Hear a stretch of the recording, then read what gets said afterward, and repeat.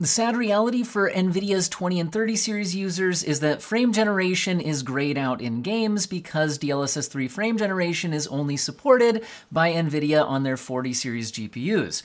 In this video, we're gonna look at how to mod FSR 3 frame generation into your game so that you can actually use not only uh, frame generation, but still use DLSS upscaling. And that is really cool uh, because normally with FSR3 in the, well, it's only in four games so far, but FSR3 frame generation just went open source and modders have of course already been playing around with that. FSR3 frame generation can run on basically any modern GPU, doesn't need to be 40 series, doesn't need to be AMD GPU use. But in the four games it's been officially implemented into, uh, you have to use the AMD's FSR pipeline, meaning you can't turn on DLSS upscaling, and then FSR3 frame generation. This mod actually has the advantage of uh, allowing us to do frame generation using the DLSS pipeline. Uh, also has the disadvantage of this is only going to work for NVIDIA GPUs because uh, I believe the mod is based on uh, getting into NVIDIA's Streamline pipeline, uh, which does check that you are on an RTX GPU. So what are we doing? First of all, I'm gonna quit out of the game and I'm on two PCs right now, so that's confusing, but uh, we're just gonna Alt F4 out of that and I'm gonna show you guys uh, how we are going to mod in frame generation. So uh, first of all, I'll have this link in this uh, video description. There's a number of mods claiming to do this right now. The one I have tried is free. Some of them have been paid. Uh, and this is from Nukem9 on, uh, on GitHub.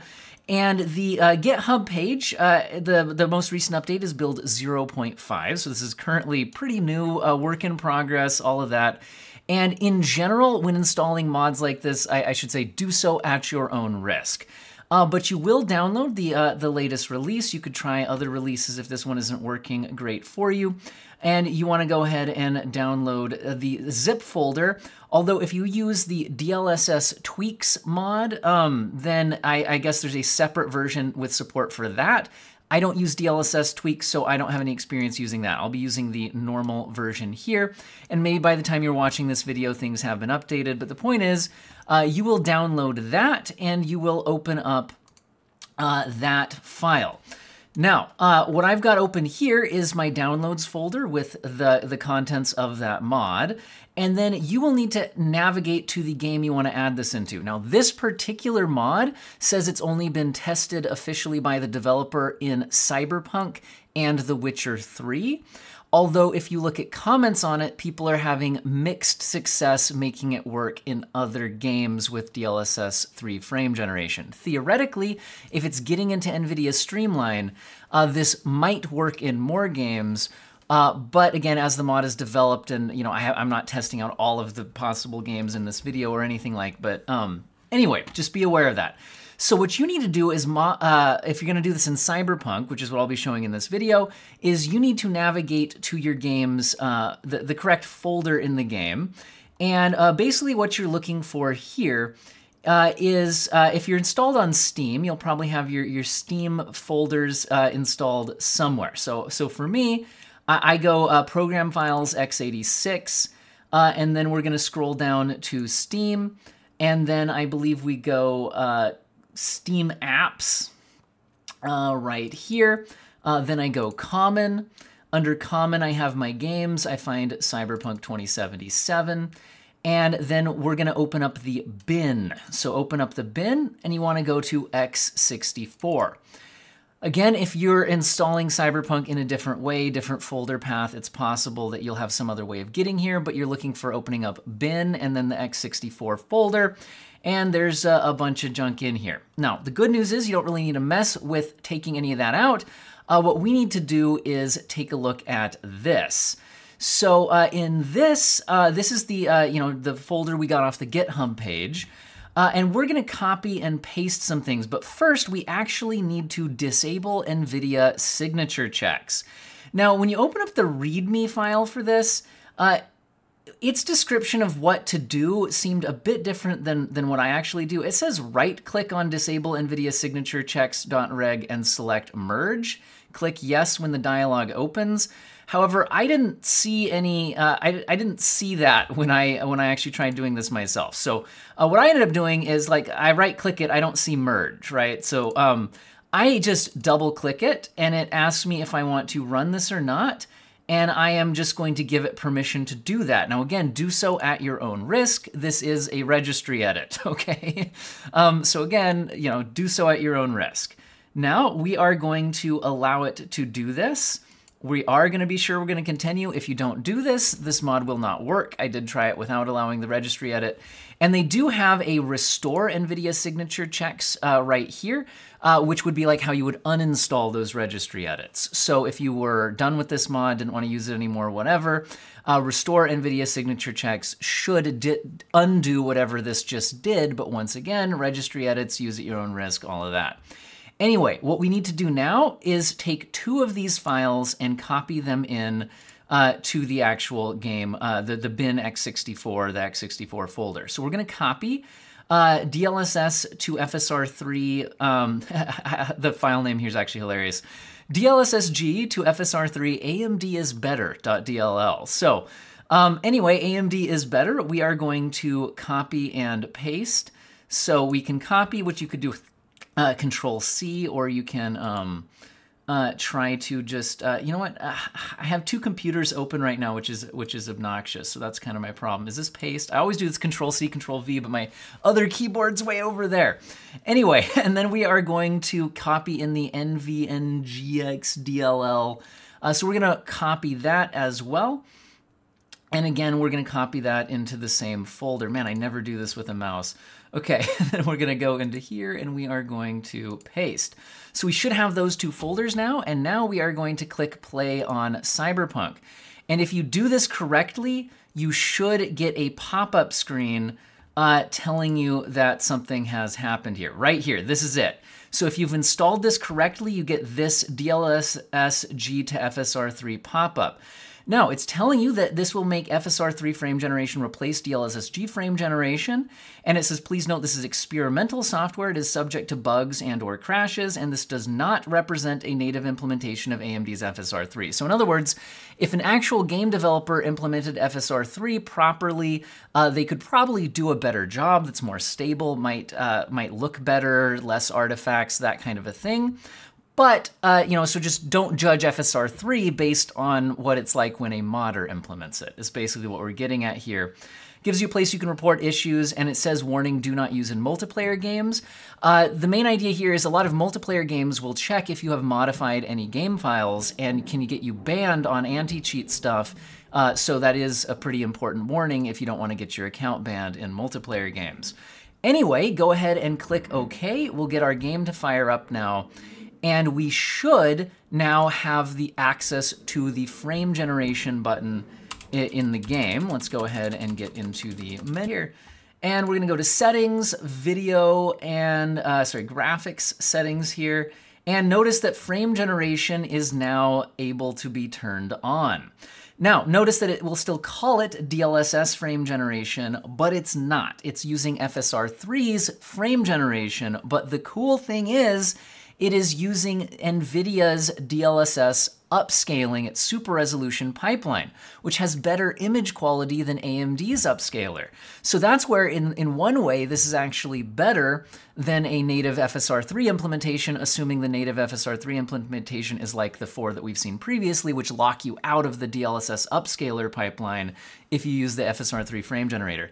Now, I want to actually try this out on screen for you guys, but I'm going to pop out to actually film my screen directly, because the thing is, filming with a, a capture card, uh, like I'm doing now here, that's not variable refresh rate, so it can get screen tearing and things like that introduced uh, that you wouldn't see on an actual variable refresh rate display. I also want to verify that variable refresh rate is working correctly because that is one of the issues with some of the initial FSR3 implementations, but I believe the open source version of this mod should have solved that problem. So let's pop out for a second.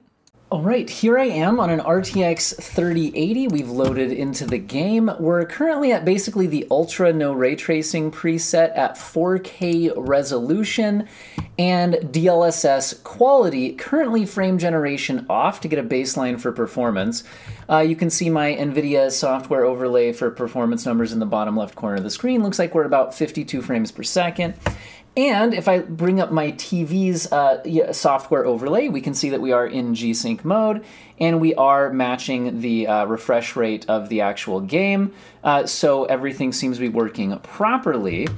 And let's go ahead and double check that when we turn on frame generation in the game, that our frame rate goes up and uh, uh, variable refresh rate G-Sync stays on. Now when you kick that on, it'll go to auto super resolution. So I'm gonna set it back to quality so we have the same baseline. And uh, let's go ahead and pop out of the menu, give the frame rate counter a second to stabilize. And now it's reporting 88. So um, yeah, it definitely did pop up. Let's make sure G-Sync still seems to be enabled, and it does seem to be tracking with the game's uh, refresh rate properly. So that does seem to be enabled. Now, the other thing we need to check for is, is this mod just duplicating frames, or is it actually generating frames? So uh, I'm going to get an idea. Now, this won't come across perfectly in a video because I'm in a variable refresh rate game and you are watching a fixed 60 FPS video, although I am filming it at 120 FPS to at least help with that. So I'm getting an idea of a camera pan. I chose these uh, difficult to look at um, uh, lights, vertical lights, because I think I'll, I'll, see issues uh, if, if there are any. And actually, I do think I see something. Let me go ahead and turn off frame generation. So frame generation back off, everything else is the same. I'm gonna do the same camera pan. Okay, interesting, yeah. So I can definitely tell that frames are actually being generated, not just duplicated. I don't know how much of this comes across in the YouTube video, but there are definite gaps between frames here on the normal camera pan side to side. In other words, I can kind of see things jump from one place to the next uh, as, as you know, the, the it, it refreshes. But uh, if I turn frame generation on, I can definitely tell uh, that there is more smoothness happening. Oh, wait a second. I can tell when I kicked on frame generation that the super resolution changed. Yep, I'm gonna go back to quality setting to make sure it's an apples to apples comparison. Otherwise, I think it goes to auto, and at 4K, that would go into performance mode upscaling, which we could certainly test. But okay, so here we're at apples to apples. Now, I don't know if this is gonna come through in the YouTube video. Uh, but I absolutely see a grainy version of this light uh, pop up in between frames. It, it's a little bit hard to describe, but it's almost like a fizzled together version of the lights, uh, one off and one on, uh, where it almost looks like a uh, uh, kind of some dots of the light and some dots of black, which is interesting. I intentionally chose this scene because it would be really hard for a frame generator. turning frame generation back off, and again, uh, larger gaps between frames, it feels much less smooth, and I don't get those the, those garbled in between images. Now, the garbled in between images aren't necessarily a bad thing. That's showing that's telling me that the frame generation is actually generating frames and not duplicating the frames. Uh, so, in other words, this does actually seem to be working. And it's not a horrible artifact or anything like that. I was just intentionally choosing a situation where I knew we would get an artifact uh, that I could um, then verify, you know, the frames were actually being generated. I think in normal uh, motion, uh, this is actually feeling pretty good. Um, I kind of get the feeling the HUD element is refreshing at half refresh rate, um, like that 100 meter sign. And, and that's that's what FSR3 actually should be doing. Otherwise, you would get uh, you would get um, more egregious garbling on the the generated um, on the generated UI elements. Um, yeah, so so when I turn frame generation off, the the uh, 100 meter sign does seem to be more in line with everything else on the screen.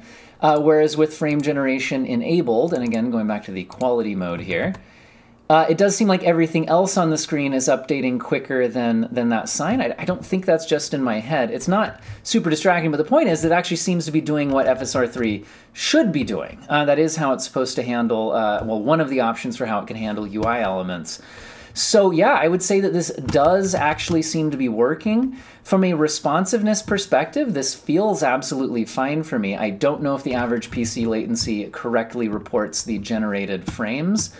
Um, now, I have seen people talk about uh, adding in reflex support because uh, again, uh, this this is grayed out as on, so it might actually be on. I've also seen people talk about adding in VSync support if you're going past your uh, native refresh rate through NVIDIA's control panel and forcing it on. So there's a lot of stuff you guys could play around with here. Uh, I'm curious if we could go into like RT Ultra mode.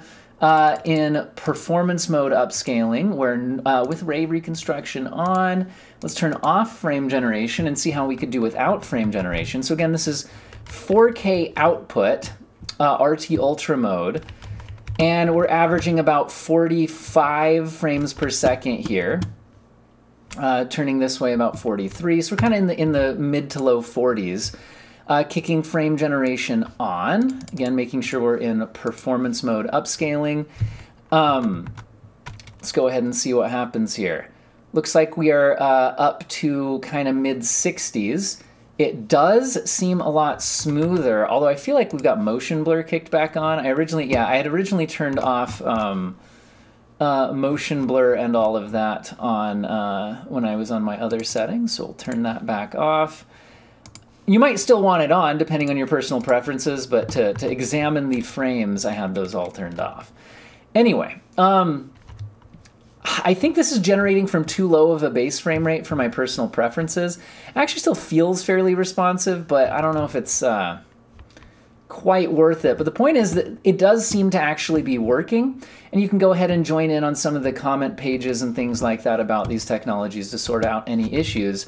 Again, I do see a bit of garbling between frames here. Do you guys see that? Do you see the kind of like spotty in between image on those lights? Now, I'm curious if, if a uh, if a full implementation of this would work better, uh, and and Cyberpunk is on the list of games to officially get uh, DLSS three support. Uh, sorry, sorry, FSR three support. However, I'm curious. Like I said, one of the big things is this mod allows it to be generated with uh, the upscaling um, with the DLSS upscaling, I'm curious if the official implementation would lock you into FSR upscaling mode, which would be uh, kind of annoying.